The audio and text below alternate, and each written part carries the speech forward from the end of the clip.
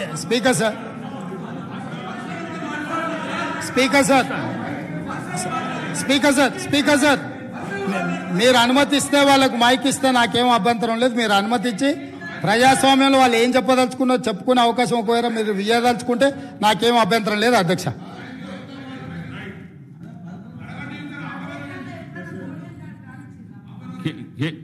Shri KT Ramarao గారు. Speaker sir నేను నిజంగానే సిగ్గుపడుతున్నా సార్. ఎందుకంటే పంటల బీమాకు పంటల బీమాకు పంట బీమాకు రైతు బీమాకు తేడా తెలియని వ్యక్తి ముఖ్యమంత్రిగా ఉన్నందుకు నేను నిజంగానే సిగ్గుపడుతున్నాను సార్ పంట బీమాకు రైతు బీమాకు తేడా తెలియని వ్యక్తి మీ గొప్ప నాయకుడు గొప్ప ముఖ్యమంత్రి. అధ్యక్ష నేను ఒకటే మాట అంటా ఉన్నా అధ్యక్ష. వారు పర్సనల్గా చాలా దారుణాతి దారుణంగా ఒక ముఖ్యమంత్రిలా కాకుండా ఏదో పిసిసి అధ్యక్ష పదవుల్లో అక్కడ గాంధీ భవన్లో కూర్చుని ఒక ప్రెస్ మీట్లో మాట్లాడినట్టు స్వీపింగ్ రిమార్క్స్. అధ్యక్ష ఇవాళ ఆయన ఒక గౌరవమైన రాజ్యాంగబద్ధమైన పదవిలో ఉన్నారు. అధ్యక్ష నేనేమంటా ఉన్నా అధ్యక్ష? చెప్పాలి గుర్తు చేయాలి. గుర్తు చేయాలి ఆయన గుర్తు లేదు. నేనేమంటున్నా అధ్యక్ష? నేరెల్లా నేరెళ్ళలో ఏదో జరిగింది. శాండ్ మాఫియా అని ఇష్టం వచ్చినట్టు మాట్లాడుతున్నారు. నేను ఒకటే అడుగుతున్నా అధ్యక్ష. రెండు వేల నాలుగు నుంచి పద్నాలుగు వరకు రెండు వేల నాలుగు నుంచి పద్నాలుగు వరకు శాండ్ మీద ఈ రాష్ట్రంలో ఆంధ్రప్రదేశ్ రాష్ట్రంలో తెలంగాణ ప్రాంతంలో వచ్చిన ఆదాయం మొత్తం రాష్ట్రానికి సమకూరిన ఆదాయం ముప్పై తొమ్మిదిన్నర కోట్లు అధ్యక్ష. అంటే సంవత్సరానికి నాలుగు కోట్ల ఆదాయం కూడా రాలే. అదే రెండు వేల రెండు వేల పద్నాలుగు నుంచి రెండు వేల ఇరవై మూడు వరకు అధ్యక్ష ఈ రాష్ట్రానికి శాండ్ మీద వచ్చిన ఆదాయం ఐదు వేల కోట్ల పైచిలకు అధ్యక్ష. నాలుగు కోట్లు నాలుగు కోట్లు కూడా ఆదాయం లేని నాడు శాండ్ మాఫియా అవ్వలేదు సార్. కాంగ్రెస్ పార్టీదా? కాంగ్రెస్ పార్టీల జేబులు నాయకుల జేబులు నిండినాయా? ఎవరి జేబులు నిండినాయండి? ఆనాడు శాండ్ ఆదాయం ఎక్కడ పోయింది? అధ్యక్ష ఇంకోటి నేరెళ్ళలో ఎవరో తొక్కిచ్చారు ఎక్కిచ్చారు. అధ్యక్ష ఇదే పాత చింతకాయ పచ్చడి లాంటి మాటలు. స్వయంగా ఈ రోజు కాదు అధ్యక్ష వాళ్ళు ప్రతిపక్షంలో ఉన్నప్పుడు కూడా చెప్పినారు. ఇది రెండు వేల పద్దెనిమిదికి ముందు చెప్పినరు తర్వాత చెప్పినరు. ఆయన చెప్పిన నేరెళ్ళలో కూడా మా పార్టీకి అభ్యర్థిగా నాకే మెజారిటీ ఇచ్చి ప్రజలు మళ్ళొక్కసారి బ్రహ్మాండంగా గెలిపించి వాపసు పంపిన అధ్యక్ష. ఒక మాట అధ్యక్ష నేరెళ్ళలో నేరెళ్ళలో ఏదైనా తప్పు జరిగింటే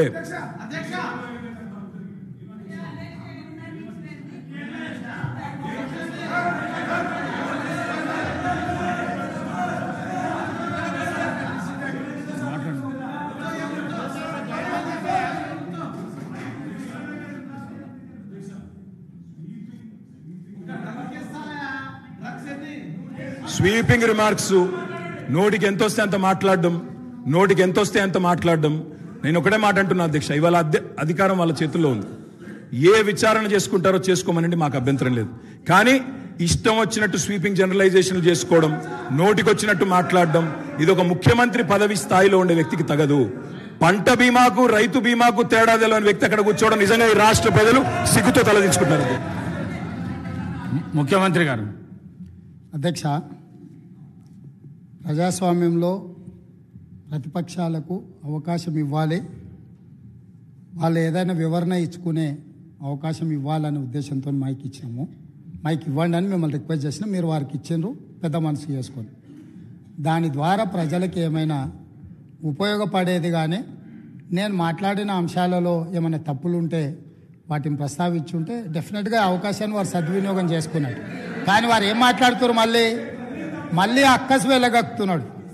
ఎందుకనంటే అక్కడేదో మేనేజ్మెంట్ కోటాలో నేను కూర్చుందాం అనుకుంటే ప్రజల నుంచి వచ్చిన ఆయన కూర్చున్నాడు కాబట్టి నేను చూసి ఓర్వలేకపోతున్నా అని కుళ్ళుగా అనిపిస్తుంది తప్ప దాంట్లో ఏమైనా ఉందా అధ్యక్ష?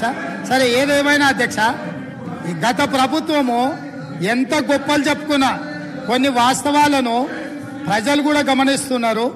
మీ ద్వారా వాళ్ళు ఆ సమయంలో మరి గుర్తుందో లేదో ఇప్పుడు గుర్తు చేయదలుచుకున్న అధ్యక్ష.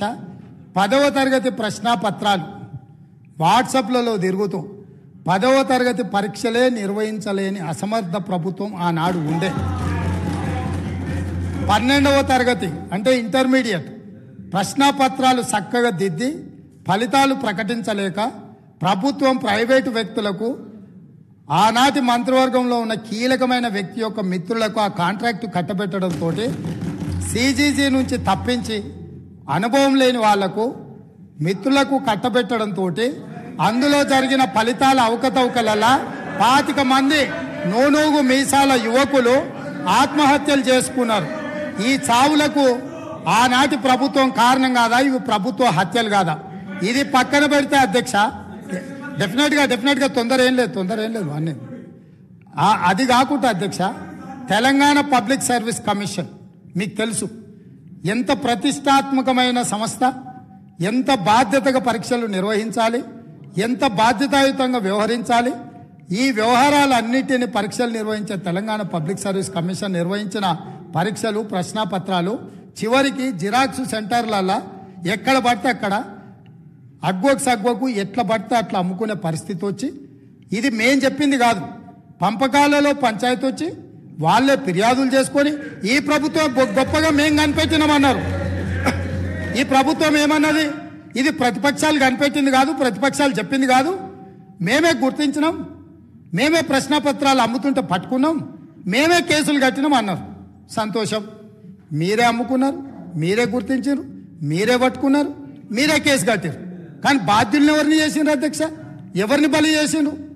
ఈరోజు బాధ్యులైన అందులో ఉండే సభ్యుల నియామకం విషయంలో చైర్మన్ విషయంలో హైకోర్టు ఇచ్చిన తీర్పేంది నిజంగానే ఈ ప్రభుత్వం బాధ్యత ఉంటే ముప్పై లక్షల మంది నిరుద్యోగ యువకులు ఈరోజు ఉద్యోగ ఉపాధి అవకాశాల కోసం పది సంవత్సరాల నుంచి చిక్కడపల్లి లైబ్రరీ సెంట్రల్ లైబ్రరీలోనో లేకపోతే దిల్సుఖ్ నగర్లోనో గౌలిగూడలో లేకపోతే ఈరోజు అమీర్పేట్ చౌరస్తాల్లో కుక్కట్పల్లి చౌరస్తాల్లో ఈరోజు కోచింగ్ సెంటర్ల అశోక్ నగర్ చౌరస్తాల్లో లక్షలాది మంది విద్యార్థులు ఈ రోజు ఉద్యోగ ఉపాధి అవకాశాల కోసం పోటీ పరీక్షలకు గ్రామాలలో ఉన్న తల్లిదండ్రులు రూపాయి రూపాయి కూడబెట్టి ఈ రోజు వాళ్ళని ఇక్కడ పెట్టి చదివిస్తే పది సంవత్సరాలల్లా ప్రభుత్వంలో ఉన్న ఉద్యోగ ఖాళీలను భర్తీ చేయకపోను బాధ్యతారహితంగా నిర్వహించడం వల్ల ఆ ప్రశ్నపత్రాలు లీక్ అయి బజార్లలో పల్లి బఠాన్లా అమ్ముకుంటుంటే దానికి సంబంధించిన చర్యలు తీసుకొని బోర్డును రద్దు చేసి కొత్త బోర్డును బాధ్యతాయుతంగా నిర్వహించాల్సిన ఈ ఈ పార్టీ ఈ ప్రభుత్వం ఆనాడు ఆ చర్యలు చేయలే. ఎన్నికల్లో వచ్చినప్పుడు వాళ్ళని కొంతమంది విద్యార్థులను పిలుచుకొని కూర్చొని మాట్లాడి మంత్రి గారు చెప్తారు అవును తప్పు జరిగింది. తప్పు జరిగింది మళ్ళీ మళ్ళీ మూడోసారి అవకాశం ఇస్తే మిమ్మల్ని నిండా ముంచుతామని వాళ్ళకి మాటలు చెప్తున్నారు. తప్పు జరిగిందని మీరు గుర్తించినప్పుడు మీ పాత్ర అందులో లేనప్పుడు పాత్రులైన బాధ్యులైన వాళ్ళ చే మీద చర్యలు తీసుకోవడానికి మీరు ఆ పరీక్షలను నిర్వహించిన వాళ్ళ మీద బోర్డులో నియమించిన సభ్యులకు అర్హత లేదు అని కోర్టు కూడా ప్రభుత్వానికి సూచన చేసినప్పుడు యుద్ధ ప్రాతిపదికన చర్యలు ఎందుకు తీసుకోలేదు? దీనికి కారణం మీరు కాదా? ఇలాంటి పదవ తరగతి పరీక్ష నిర్వహించలేనోళ్ళు పన్నెండవ తరగతి పరీక్షల పేపర్లు దిద్దలేనోళ్ళు తెలంగాణ పబ్లిక్ సర్వీస్ కమిషన్ ద్వారా ప్రభుత్వ ఉద్యోగ నియామకాలు చేపట్టలేనోళ్ళు ఖచ్చితంగా సిగ్గుతో తల వంచుకోవాల్సిందే తెలంగాణ సమాజానికి క్షమాపణ చెప్పి తీరవలసిందే అధ్యక్ష. అదేవిధంగా అధ్యక్ష ఇంకొక మాట చెప్పదలుచుకున్న అధ్యక్ష స్కూల్ ఎడ్యుకేషన్. స్కూల్ ఎడ్యుకేషన్ మీద ఇచ్చిన రిపోర్ట్లో నేషనల్ అచీవ్మెంట్ సర్వే ర్యాంకింగ్ ముప్పై ఒకటి అధ్యక్ష.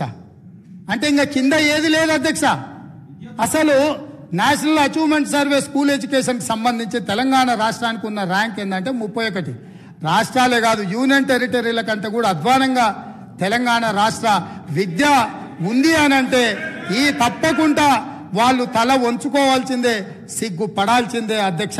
అదేవిధంగా అధ్యక్ష పదే పదే గతంలో మీరు ఇది మాట్లాడినరు గతంలో అది మాట్లాడినరు గతంలో మీరు తెలంగాణకు వ్యతిరేకం లేకపోతే మీరు తెలంగాణ ప్రజలప్పుడు అడిగినప్పుడు ఇయ్యలేదు. గత కాంగ్రెస్ ప్రభుత్వంలో జరిగిన తప్పిదాలకంతా ఇక్కడ ఉన్న వాళ్ళే కారణం. మీరు బాధ్యత వహించాలి అంటారు నేను ఒక్క మాట మీ ద్వారా చెప్పదలుచుకున్నా అధ్యక్ష. ఉమ్మడి రాష్ట్రంలో సమైక్య పాలనలో పదహారు రాష్ట్ర మంది ముఖ్యమంత్రులుగా పదహారు సార్లు ముఖ్యమంత్రులుగా ఉన్న వాళ్ళు ఎవరు ఈ ప్రాంతానికి సంబంధించి న్యాయం చెయ్యలేదు.